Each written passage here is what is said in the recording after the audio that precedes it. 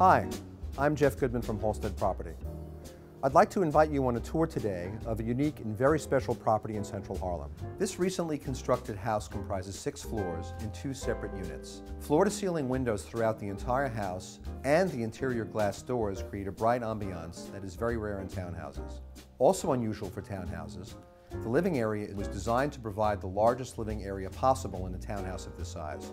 Even the design of the staircase ensures the projection of daylight throughout the living area during the day. You will never need more bathrooms in this property. There are four and a half of them in the owner's unit alone.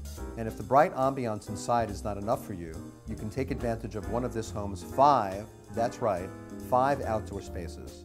Three balconies, a terrace, and a duplex roof deck. How much outdoor space does a townhouse need? The smaller downstairs unit is bright, modern, and spacious, boasting five rooms on two floors with one and a half baths.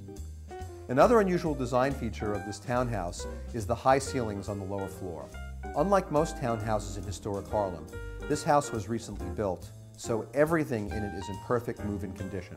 Both units have modern kitchens and appliances, central air conditioning, their own washers and dryers, and their own heating units. This house in central Harlem is centrally located. It's a short walk from the 2 and the 3 and the 4, 5, and 6 trains, and Metro North's 125th Street station. And it's within a few minutes walk of some of the neighborhood's best and most exciting restaurants and night spots. If you're in the market for a townhouse in Harlem, this is one property that you won't want to miss. I'd love to show it to you. Thanks.